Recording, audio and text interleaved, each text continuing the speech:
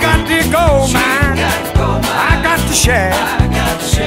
They split it right down the middle, and then they give her the better half. Well, it all sounds so.